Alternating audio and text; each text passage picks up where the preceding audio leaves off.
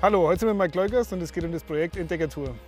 Also im Prinzip ist die Entdeckertour eine moderne Schnitzeljagd, äh, die man mit dem Tablet, mit dem Handy äh, durchführen kann und man kennt oder man lernt dadurch die Ortschaft näher kennen auf verschiedene Art und Weisen, also äh, auf witzige Art und Weise, auf historische und geschichtliche Art und Weise und wir möchten es immer weiter ausbauen, dieses Projekt.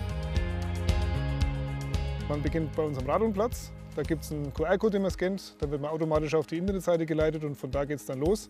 Man kann sich verschiedene Touren auswählen und dann geht man durch Markleugers und schaut sich um.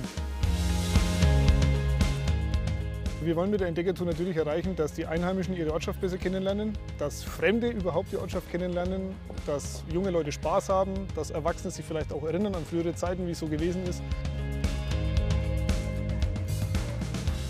Oh, schau, da ist die Kirche. Ja, den Berg müssen wir hoch. Was wir jetzt hier machen? Wir sollen schätzen, wie hoch der Spider-Man klettern würde, um bis auf die Spitze des Kirchturms zu kommen.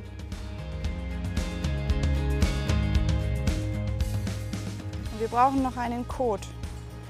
Okay. Er ist auf der Unterseite des Schaukastens.